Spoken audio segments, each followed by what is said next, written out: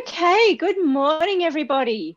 Welcome to our Greater Glider Survey Design and Monitoring Workshop. Thank you so much for joining us. It looks like we have lots of people here with us, which is excellent. My name is Jen Martin and I'm going to be facilitating this session. And I'd like to begin with an acknowledgement of country.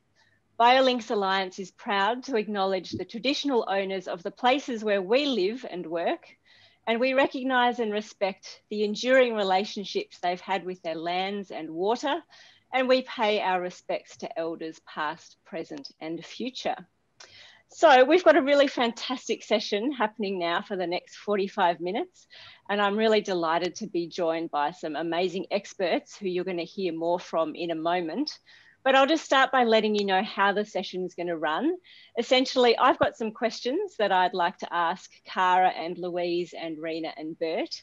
And then about halfway through the session, I'm going to be opening the floor for questions from you guys. So if you think of a question you'd like to ask as we're going through, please feel free to put it into the chat box so that we can come to it later. Uh, if you uh, have, if you'd like your question to be directed to a particular person on our panel, one of our experts, then please feel free to put their name alongside the question so we know that. You will also have the chance to unmute yourself later and ask your question directly if you would prefer that. The other thing to let you know is that we really want your input. And so we've put together a short survey with some questions around Greater Glider survey design and monitoring. And you'll find the link to that survey in the chat. So please, anytime you feel like jumping in and completing that either during the session or at the end of the session, we'd be really grateful for that. So what are we here to talk about today? Well, I guess greater gliders have been uh, traditionally recognised as being or thought of as being easy to detect. But uh, the recent development of improved survey protocols have shown us that that's just not always the case. And so I think understanding population trends really relies on certainly long-term monitoring, but also confident assumptions around detectability and really robust survey design. So those are some of the things that we're going to be talking about with our experts this morning. So Kara, welcome. I'd like to start with you. Before I give you a question, could you briefly introduce yourself, please? Hi, I'm Kara Youngentob and I'm a research fellow at the Australian National University.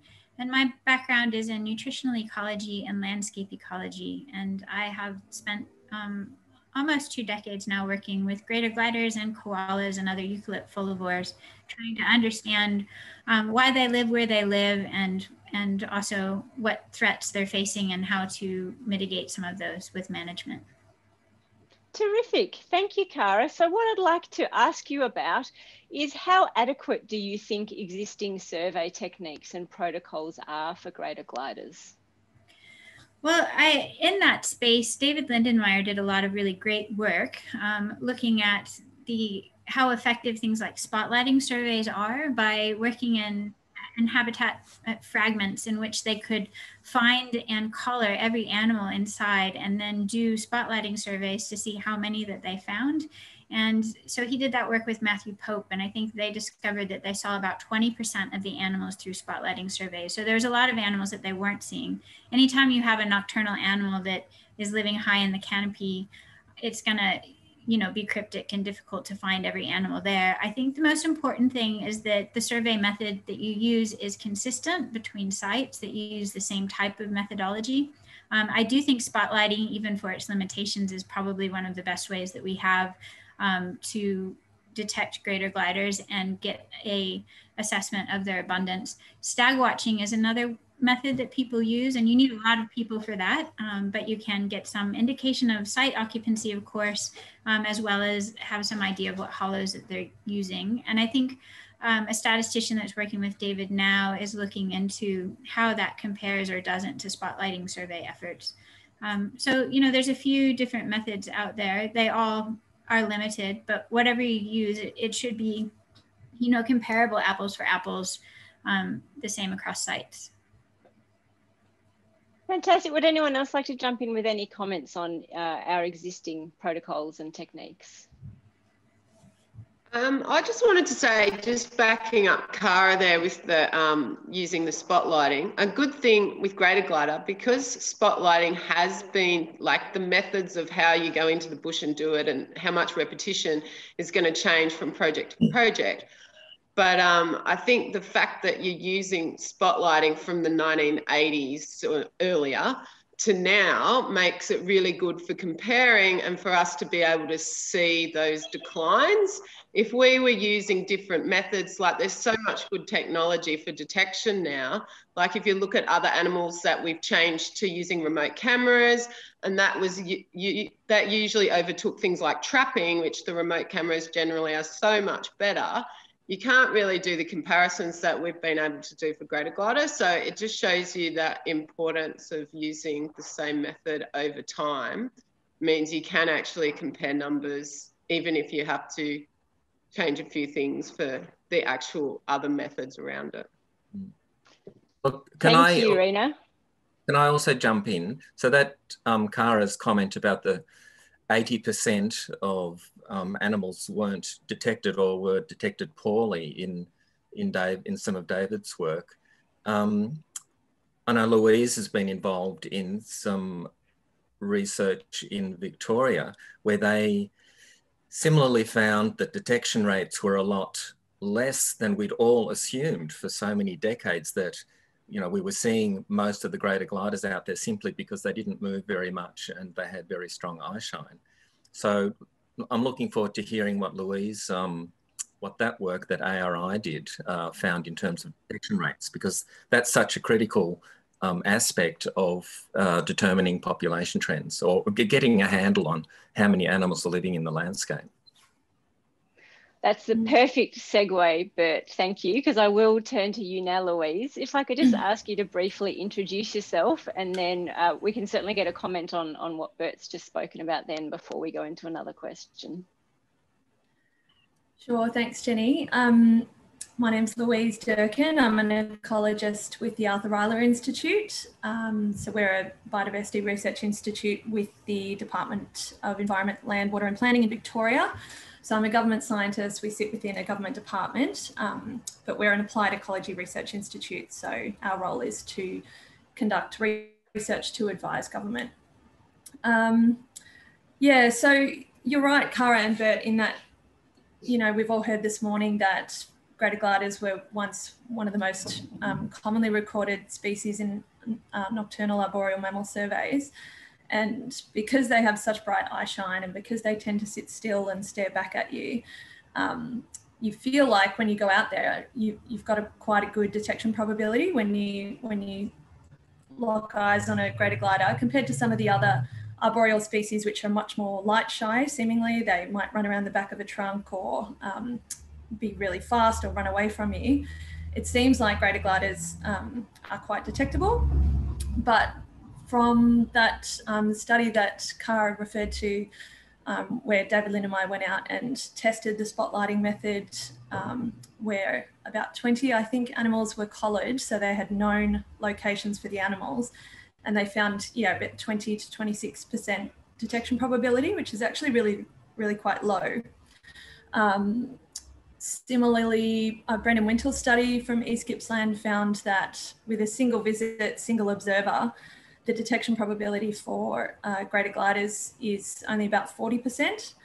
And our work in the Strathbogies a couple of years ago, um, we had something around about 60% with a single observer, single visit.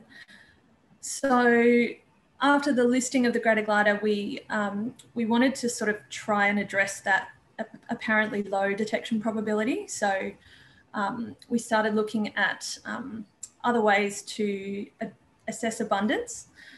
So one of the ways you can um, quite validly and robustly assess abundance of animals in the wild is um, a method called distance sampling, where you have a line transect through the bush um, and you go and you survey the animals. Um, and that means that if you account for the distance from the transect line that you saw the animals, um, you can fit it into an analysis and come up with an estimate of how many animals per unit area, like per hectare. Um, however, that method works quite well if you're working on, say, kangaroos in a grassland, but if you're working on uh, greater gliders in a forest, uh, you're unable to be sure that you're seeing everything on the transect line with 100% certainty. And so we've trialled a method in the Strathbogies, um, which has since been adopted more broadly, um, which we're calling it's double observer distance sampling or mark recapture distance sampling, um, which we think is an improvement um, where you have two observers and they simultaneously yet independently survey a transect. So you'll have both people going along um, separated by about 10 to 15 minutes and they'll both survey um, the transect and then at the end of the survey you compare notes figure out who's seen um, which gliders so which gliders have been seen by observer one which have been seen by observer two and which have been seen by both um, and we found from that work that again only about 20% of gliders were seen by both individuals so by both observers so if you'd only had one person and one visit, it is quite low. But um, we've got a paper in review actually um, demonstrating that the method really improves our ability to estimate abundance. It's quite a long Louise, answer, that, sorry. No, no, that's great, Louise. So you're talking about estimating abundance with that new technique. Um, how is how does that um, relate to current best practice for for greater glider surveys for for um, identifying their presence. Are we talking about the same mm. technique or are there other techniques? There are other techniques, and uh, of course, it depends. It depends what the objective of the survey is. So, what the question is. So, if if your objective, you know, for example, stag watching can be a really good technique for long-term monitoring because if you always go back to the same sites, you always use exactly the same um, method, then it it, it's really informative to help you learn about what trends over time are at a particular place or set of places. Um, whereas if if your question is, well, at this current point in time, how many greater gliders might there be in this catchment area or this part of Victoria? Um, um, to do something like distance sampling or mark recapture distance sampling and or repeat visits is um, would improve your your um, your estimate. So for example, for some of the coupe surveys where they do pre-harvest surveys, it's obviously really important that we try and get as close as we can to the truth of of how many greater gliders might be there. Um, and for that reason, we we've advised now to do both double observer distance sampling as well as repeat visits to try and get the best answer we can. Okay, fantastic, Louise. Rena, I'd like to bring you in now um, to continue talking about uh, survey design approaches, but could you begin by introducing yourself, please?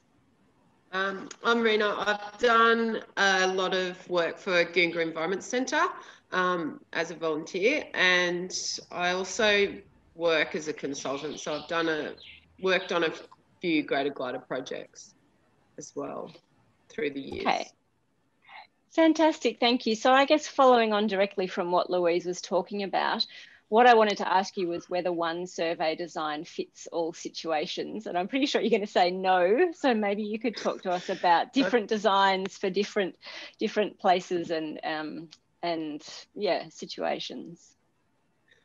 Yeah, well, that's a big question actually, because um, it does depend on how what what you're asking. So as Louise has already addressed that, um, how you're going to design a project does depend on what you want to know. So it depends if you want to compare it over time. It depends if you're looking at, so just say a lot of the citizen science projects in logging areas are looking at an area that's about to get logged, so it's going to change. But they want to people will want to find out how many gliders are in there at a particular time because unfortunately that's how the legislation works. You have to find a number. Um, so like the current method of spotlighting in a transect you would you would do that but you may want to survey as much as the coupe as you can because you've got to find a certain number per hectare so you may do your transect and you may repeat it, but you also may just look at every single tree in the whole coupe. So you may have multiple transects. And what you have to look for then is when you're, the reason why you walk a transect is because you're looking out and you also record, so you record the distance that you see the animal at and you record a compass bearing and you walk along one transect so that you don't repeat um, seeing the same animal again. So you, you have to do all that and then at the end, if you've got animals that could be the same animals, so you map it all out and and that's how you would do that and you would do it as many times as you can but you've to see your highest number over different nights but your time of course is limited and i suppose that's the same with government coupe surveys. If you're working as the ecologist you would do the method that louise has just said. So repetition to observers but you have a certain select amount of time. So the best thing for surveying properly is to survey different seasons um, as many times as you can and over a number of years because we don't just have four seasons. We have La Nina and El Nino, and that changes um, populations. And as we know, climate change is changing populations as well. So to get all that variant out, you really have to do long-term surveying over a number of years and a number of different types of years, depending on what seasonality is happening in the Pacific Ocean at the time. Um, mm-hmm. Yeah, so, but it does depend on the question. So if people have a question yeah. of how they want to know how to survey something, then maybe that might be uh, easier to address. Rena, a, a lot of it's driven by the context too, isn't it? So the the imperative for lots of community groups is um, defined by the perceived lack of action from government. So, so therefore, community groups are sort of forced to adopt the methodology that you know government would accept for um, you know accepting data about greater glider detection rates or those sorts of things. But but the whole other side um, then potentially is ignored. You know, you could do surveys, um, you know, not using standard techniques. Um, and I'm, maybe I'm jumping the gun a bit because I might talk about this a bit later because it's, um, it's also a, a case that you've got to create a narrative, don't you, to bring the community along with you. I mean, nothing happens in isolation. So selecting your survey technique is often more than, uh, it's a broader question than just what is the best scientific methodology, but what methodology can we use, do we have the capacity to use, and that will allow us to tell a story um, that then gets traction either with the public or, or with policymakers or, or whoever. But how yeah, about we that's... jump in now and, and introduce you because then we can continue the conversation. I'm just conscious that you haven't had your chance to be introduced yet. So, um, Bert, please tell us who you are and then uh, let's continue the conversation. Okay, so I'm Bertram Lobert and I am I'm beaming in from the beautiful Strathbogie Ranges behind me. It doesn't all look like that. It's actually a largely cleared landscape. Um, that that that vision behind me is the Strath, part of the Strathbogie Forest, and and I'm here mainly. Um, I mean, in, sort of, I'm an ecologist, I suppose, broadly, but I'm here mainly because of my work um, and advocacy with the Strathbogie Ranges Conservation Management Network that has, for the last sort of 10 years or so, um, entered this space of uh, forest management on public land, and obviously Greater Gliders is it's, it's, a large part of that story. And I've lived in this landscape for about 30 years, so you know it's home, and I care about um, its management and what's happening to it. Thank you, Bert. So you were just talking about the narrative um, that goes with our um, survey design and our desire to know more and also around capacity. So can you talk to me about citizen science and how can we meaningfully get citizen scientists involved in this work?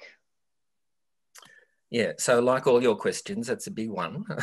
um, but, um, look, so, we've got to we've got to survey um, whether it's via transects or you know site specific locations, um, the sort of thing that uh, David Lindenmayer was doing and basing a lot of his population decline stuff on for greater gliders over the last few decades. It, it you know, you can cut it uh, different ways, but we've got to go out there and survey. And obviously you choose a method that's going to give you confidence in results that hopefully the, the information you collect is useful beyond your own immediate needs. Um, but citizen science is filling a gap now, isn't it? I mean, uh, I'm old enough. Maybe some of the listeners or viewers, you know, if you if you if you if you haven't yet reached 30 years of age, you probably wouldn't even realise that at one point in time, like last century, the, the government actually routinely did lots of um, in different projects and different guises, but did a lot of um, lot of flora and fauna survey, uh, mainly vertebrates, uh, but it was kind of a routine part of the work. It just happens very rarely now. So citizen science is actually critical for generating sort of baseline, um, you know, data for so many species. Um, and, but rather than talk about the, the, the, sort of the, the methodology from a citizen science point of view, it, it's it's critical to you know un, to to get to know your the, the thing that you're investigating because if you don't as the old adage goes if you don't um, if you don't know something you can't love it and if you don't love it you can't protect it. And, and citizen science is all about advocating for in, improved you know in, in, improved protections and improved management of, of the natural world but in, in the Strathbogies, in, in our citizen science project, we really had sort of multiple objectives, um, you know, looking at it in hindsight. And yes, one of them was about um, collecting data so that we could sort of get on the map and maybe get some traction, whether that was political or, or whatever. Um, but telling stories and creating a narrative is, is just critical. And, and everybody in this forum would probably understand that even if they haven't interrogated that um, idea terribly. Um, you know, it's, it's really not an, it, it helps a lot if you've got a cute and cuddly, but it helps even more if you can tell a compelling, you know, story about it. And, and the other, the other thing that citizen science can really do is create opportunities for professionals, you know, whether it's researchers or whether it's the government department to, to enter the space. You know, there's so much antagonism uh, in this space, so much conflict that often we just stick to our own little, you know, our own little patches. Um, and, and we, through circumstance, um, were lucky enough to, um, through our own citizen science um, project where we demonstrated at least anecdotally, you know, through our own surveys that there were still lots of greater gliders in the Strathbogie forest and, and at fairly high detection rates. And because of our connections and because maybe um, the, the, conversations that we were having, you know, then the government uh, environment department did get involved in doing some surveys up here. And, you know, it, it became a very useful, um, well, and in the long term, a very constructive um, approach to take. So, so I think citizen science can play so many roles and it, it just really depends on people getting together, working out what they've got, you know, devising a plan that suits you and so that I don't ramble on for too long, um, you know, coming up with the coming up with achievable outcomes that tick multiple boxes because you really don't know where you're going to land that's part of the excitement of citizen science is you, you're constantly discovering no different to any other research really, but it, at a community level, you know, there's a great deal of empowerment that can come from that. Fantastic, Bert. Thank you. So in just a moment, I am going to uh, throw it open to the floor. I can see we do already have some questions, which is terrific. If you do have questions, please feel free to put them in the chat. Uh, if you prefer to speak up and be able to ask your question yourself, uh, I'll try and remember to keep scrolling through my screens and you can just use the reactions down in the bottom right to put your hand up and let me know that you'd like to speak. Um, but just before I go to one of the questions in the chat, um, I know Louise You were just about to speak uh, earlier, and I'm not sure what I interrupted when I wanted to uh, to introduce Bert. Did you want to add anything? I guess the, the, the remaining question on my list was just whether any of you wanted to comment any further about um, what particular protocols really lend themselves to long-term monitoring. And obviously, Bert, you've just spoken to that a little bit with the um, the capacity that citizen science brings. But would anyone else like to speak to the idea of long-term monitoring? Silence. I can make a couple of small points. Um, they may be obvious, but I suppose they're worth mentioning anyway. But um, long-term monitoring is um, obviously important if, as long as you are, um, you've chosen an appropriate or representative set of monitoring sites to visit again and again and again, so that we can um, recognise trends over time. Um, and those sites should be ideally representative of the broader landscape so that you know you're not we're not having developing a biased idea of what's going on because you've chosen your favorite spot or a spot that doesn't get disturbed as much as the broader landscape you know those sorts of considerations. So having a bit of a you know really thinking it through before you de- as you develop a monitoring program. Um, uh, what else was I I think that was the main point about, oh, that's right. About, um, I was going to give a shout out for the, um, just the Victorian Biodiversity Atlas, um, just on the um, how can citizen science um, make contributions, um, just in a, a, seemingly small way, but it is quite important. the records that are contributed from the Victorian public or professionals, including citizen science, of wildlife, flora and fauna to the Victorian Biodiversity Atlas are actually really important and form um, the government's repository of what exists where, when, and um, it is used a lot in planning and management of the land, things like planned burning, um, harvesting. Um, they will all go to the Victorian Biodiversity Atlas and check what has been recorded there. So if you know of something important somewhere, um, that is one way that um, it can be recognised. And it is also possible to mask records if, if there are sensitive sites. So. Mm. Can I add something to that? Yes, please. um, so uh, I've just been looking in my own backyard, been busy here really in the Strathbogies for quite a few years. But when I look at Northeast Victoria generally, like it's a huge region and there's very little information on lots of species and particularly greater gliders. Like there are some um, areas of state forest, you know, that might be a thousand square kilometres in size, and there's 10 records um, of, of greater gliders, you know, in, in the last 40 years, for example.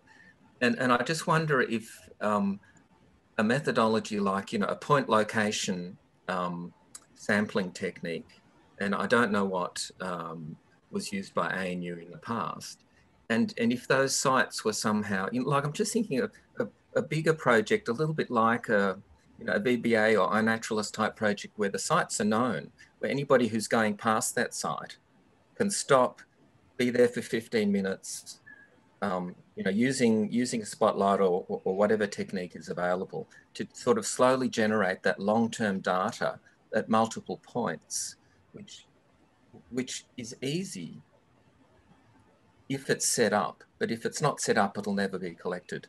Just, just, a, just a thought. Hmm. It's not a bad idea, but um, I've seen something similar from certain local councils where they have set photo points along creeks and they invite mm. the public to take a picture and submit it. And it's a bit of a way to in, involve, you know, the public in monitoring um, in a small way. Um, I suppose you'd have if you're asking people to identify things, you're potentially inviting a bit of, you know, observer error, depending on observer expertise of was it a sugar glider or not, and that sort of thing. Um, but as you say, there is there are large areas with so few records, um, and there are obviously things there, but we just don't have information on what was there. So it's surprising, really, when you look at it. There's a lot of records of magpies around Melbourne, but other huge state forest areas, there's very few records. In my experience, it can be somewhat hard to access a lot of these areas Um, they are rather remote by, you know, civilized standards. So I think that's part of why people aren't there, and it's hard to get citizen science involved. Like you know, in the Central Highlands in Victoria, as well as out in Tumut, um, and even along the south coast. I mean, these forests you get into them through fire trails, and then you know, just walking through there at night, it it's not very easy ground to get across, and so I think that keeps people out in in a way that they could do helpful surveys in large part. But that's not to say there aren't places where there are roads that people could go along and help. So I think maybe if if we did some thinking about where that would be possible for people to access safely and get into, um, then that could be a, a, useful method to involve people. Um, but I think there's just huge areas of Australia that are very hard to get into unless you're a really keen backwoods backpacker um, and know how to, you know, be in remote places. I see a lot of people also commenting on the use of drones or thermal cameras for greater gliders. And there has been some work done around that now. And you really need a big temperature gradient. So it can be difficult to use those thermal cameras like in the summer um, when the ambient temperature and the greater glider aren't that different when you take into the thermal properties of the greater glider fur, which is really insulating. But certainly in cooler forests or in areas where it's winter time and there's going to be a big difference between the ambient temperature and the animal's temperature, I've seen amazing images from um, unmanned aerial vehicles with thermal cameras on them where you can see the animals eating leaves. Like they're such high resolution. You can definitely tell the difference between brush tails and greater gliders. So i think there's multiple factors that play into whether that can work, as well as the fact that different states have different rules in different areas, have different requirements for where you can fly and when you can fly, and if you have to be licensed and all that. Um, but I think there is a lot of potential for it, and I hope to see that space grow more because I think that's probably one of the most promising areas for doing wide scale surveys. Thank you, Kara, for picking up what's going on in the chat because there's lots of interesting discussion happening. If you're not following that, there's been some um, excellent comments and, and sharing links, but we've got about 15, a little bit less than 15 minutes. So I do want to jump into some of the questions that have been posed to you guys in the chat. So going right back uh, to an earlier question from Matt Chick, the question is, uh, do detection rates change with the number of times you visit a site? And is there a sweet spot? Is there a perfect number of times to visit a particular site? And do we know that? Anybody who would like to have a go at that one? Uh, I can maybe um, draw on some information from Brendan Wintle's um, PhD, I think. He published a really useful uh, paper on um, looking at detection probabilities for um, certain forest dependent species like arboreal mammals and owls. Um, and from his work, um, I think I mentioned before that a single visit, single observer detection probability for greater gliders was um, about 40%. With two visits, that increased to about 65%, and with three visits, up to about 80%. And then it sort of reached an asymptote and leveled off um, at around you know six or seven or eight or nine any more than six you you're not really um, Im- improving your chances of detecting more than you would have. Um, there's always a balance of course with how much time and funding you can um, afford to spend revisiting the same site rather than visiting more sites less times. Um, uh, the Victorian Government survey standards for um, greater gliders is, um, recommends three visits, I think, um, and as well as the current Forest Protection Survey Program uh, surveys, the previous surveys, are also doing um, three-visit number of. Sorry, Louise, we just lost lost part of what you were saying at the end there. Look, Sorry, I, no, I should let others speak. Uh, go ahead, Bert. Uh, look, look, mine isn't a great insight other than it's highly variable, and there's so many variables. You know, whether it's whether it's time of year, whether it's um, you know the, the, amount of wind in the canopy, all, all of those. It's it's just so variable. Um, I would just really quickly just like to address a couple of things on thermal imaging, which Kara also spoke right. about. Um, and not that it's, look, I've only been using it for a couple of years. Um, and I wouldn't say I, I actually use it now, you know, in order to detect because, I mean, greater gliders are relatively detectable, but you know, they're I don't know if you can see that, probably not. I'm, I'm using a, sort of a small handheld thermal imager, a, a, a monocular. They're, they're still a little bit expensive, expensive. I mean, but you can get a really good one for a couple of thousand bucks. And for, for bigger projects, they, they, they are just fantastic. Not because you know, it gives you that much greater ability to detect greater gliders, for example, but it just opens a door into perceiving uh, the the nighttime forest that you just would not you know you with if you haven't done it before it's hard to imagine. And there are other people on the chat that you know have way more experience in this.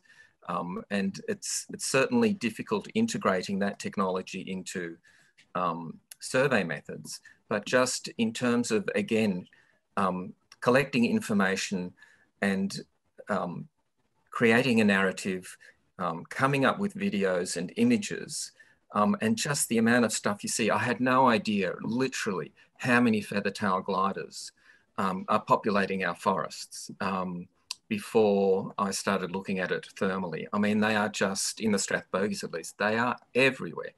And numerically, probably the most, one of the most abundant um, arboreal mammals. Now, they're not threatened, but just that insight. Um, and there are other little, you know, eastern pygmy possums or whatever, phascogales, they're all sort of of that size that um, it just allows you to ask more questions and get more people involved. Um, just wanted to throw that in. But having spent many years uh, spotlighting in the Strathbogies, now I'm sad that I saw so few feathertail gliders. They were clearly in front of me all the time. all the time absolutely oh well another life hey um, mm. i want to go back to a question that paul posed much earlier and paul was referring to um, the VicForests 2018 regulatory handbook which uh, apparently specifies that greater glider protection protocols outside East Gippsland don't actually depend on greater glider survey counts, but rather depend on the presence of hollow trees um, of 1.5 dBH, certain size per hectare, and then we need at least one hollow per tree of 15 centimetres or greater, you know, all of that stuff.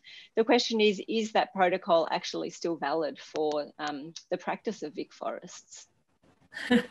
I saw that question earlier. Um, uh, I know that Big VicForest released that a year or two ago before the Victorian government had released the action statement for greater gliders, which announced new prescriptions Victoria wide.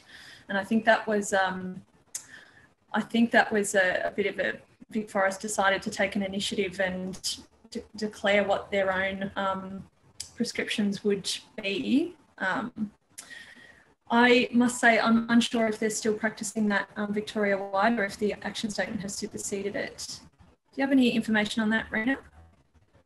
Um, I'm not with that area. So I do know that the action statement doesn't mean anything until it gets put into the planning standards, but it's usually abided by. So um, even if it's not like even if it's not legal yet because it hasn't caught up with what's in the planning standards it's often used um, so i'm not sure with the like that forest management area but that's usually what happens generally is that it would probably go to the action statement but that might not be legally bounding because it's not in the mm. planning mm. standards yeah, so the action statement for greater gliders, as with the action statement for something like a large brown tree frog, are not yet in the legally binding document, the planning standards, as you say. But um, in the interim, VicForests have been, um, if those numbers are found on a coupe, they have been um, amending their practices. Um, and the current um, prescription for greater gliders is five or more in a kilometre, in a spotlight kilometre. Okay, we've got a few minutes left. I'm just looking, there's been a good discussion in the chat around drones, but a question we haven't directly um, tackled yet is from Phil Marshall. And Phil asks whether you have any tips on how you might design pre and post logging surveys to determine the impact of certain logging techniques on glider numbers. Who wants to take that one? Um, I can talk a little bit about that. I think, you know, if you use kind of the best practice um, in terms of on the ground spotlighting methods where you have a couple of observers and you take repeated measurements, um, both before and after, and you combine that with vegetation surveys where you're looking at hollows and how many hollows might have been lost as well, um, then I think that that can give you a fairly good assessment of what's happened to both populations and some of the limiting resources that they have, like those tree hollows before and after logging. I might add to that that um, if you're doing before and after um, studies, it's, you, you must try and remember to have a control sites, site or sites. Um, some studies have been designed looking at before and after impact, impacts of logging without controls, which really weakens your ability to say to what extent it was the direct impact of the, um, the logging or the impact itself. Yeah, I think that's another really good point that Louise raised. And I would just say from my own experience doing surveys in areas that are being logged, those control sites, it's fairly important that you both look at forest type and try to match them for forest type, but also that they don't occur right next to the areas that are being logged because even the like noise and everything that happens from disturbance can be enough the I guess the gliders might go walkabout. I don't know what happens to them, but they do disappear from coupes directly next to logging areas as well. Um, so um, put your controls at a little bit of a distance as long as you can still match the type of forest and other aspects to your other sites. I think it's also really difficult the before and after with um, logging. Like obviously a clear clearfell is very clear, um, but when you start to get like little, like they've ret- like retained some areas, you kind of have a different method than of spotlighting because when you're in a forest full of lots of trees, it's really hard to see. So your vi- your vision is impaired of how much you can see. And so when there's a big area cut and you can now see a lot of other trees, that's going to change your detection rate. So there's all the logging happening around it, but there's also that your vision is is different on each of those scenarios on how they're being logged. So it's really hard to compare, I feel. Um, I think your numbers have to be really different to be able to show a difference. And um, the other thing with it is there is also other things that come in. I went into a logging coupe that had a little patch. It had just been logged and there was five greater gliders in this small patch and there was one greater glider stuck out on a habitat tree in the middle of nowhere just sort of looking a bit frazzled. And there was a powerful owl in the patch. So i don't know how much like predators have caught on to logging and disturbance and gone and looked at the opportunity that they've got once you start removing bits of forest. So it also depends on when you go in comparison to what's going on in the rest of the landscape. Um, so you have to kind of consider those things as well. But the visuals can actually work in being able to see more. So you might not be having a true comparison of what you saw before. Yeah, we used um, established transects, so we were walking the same line. But you, if it's just a thinning and you know not a clear cutting, then that does get rid of vegetation and you can see farther, but we would have a limit of 50 meters on either side of the line that we could spotlight. That doesn't mean that the vegetation was just as dense. So there probably is a detection variation to some degree. But I think if you're not doing an entire forest survey, but doing a transect line and you have a set distance on either side that you're following, um, that might help resolve some of those large differences. And something else that you were talking about, Rena, in terms of after effects. What about We've got about 20 seconds, Kara. sorry, I'll try to make it really fast, but there's also changes in vegetation that can happen at edge effects that favor some competitors like brush-tailed possums. So what you see immediately after logging may not reflect what happens to those pop populations, you know, many months down the line. So I think it's important to revisit those sites in the future, not just immediately after logging as well having just told you to hurry up, Kara, I've just I've just been given a message from Sasha that I'm allowed to go a couple of minutes over if we need to. So would anyone else like to add anything just to finish finish that off before we we uh, thank everybody for joining us? Look, I, I, yeah, I, I think that if we're so, so that investigative work of the impact of logging that can be done. That can be done through research. Um, and if it's done well, it can be then extra extrapolated or applied. But for most community, community groups, for example, I would question whether you want to bite off something like that because it's too, you know, you know, there's, there's, it's very complex. And, and from a community group's point of view, um, you know, once the logging has occurred in, in part, um, well, you, like it's not, you haven't failed, but um, you know, the horse is bolted, if, if you like. So it, it's, it's a case of, of, yes, maybe that needs research, maybe it's been done. I'm not across all that literature, but um, like from, from our point of view or the CMN's point of view, that's not uh, the highest priority in terms of where we put our efforts. Not that it isn't valuable or worthwhile, but just in, in context, I suppose. Yeah. Fantastic, Bert. Thank you. I was just going to quickly follow up from Bert as well. What you're saying, has it been done? David Lindenmayer, as you probably know, has done tons of work in this sphere in many different types of mm. log areas, um, all throughout Victoria, as well as several places in New South Wales. So there is a huge body of research on what happens to greater gliders after logging and different kinds of logging. Mm. Yeah. Thank you, Kara. So thank you to all of you. I'm, I'm very grateful for such an interesting conversation. It was uh, really good to hear your opinions, Kara and Louise and Rena and Bert. Obviously not just your opinions, also your knowledge. But of course, we are also interested in your input as audience members, and you'll see the link in the chat uh, to the short survey that we've put together around this question of Greater Glider survey uh, design and monitoring. So please grab the link, fill it in for us. We will also email it to you if you don't get the chance to do it today. But I'd just like to thank all of you so much for joining us today. And can we please give a nice quiet uh, round of applause to our panelists for your fantastic contributions. And uh, have a lovely day, everybody, and particularly enjoy all the great sessions still to come. Thank you.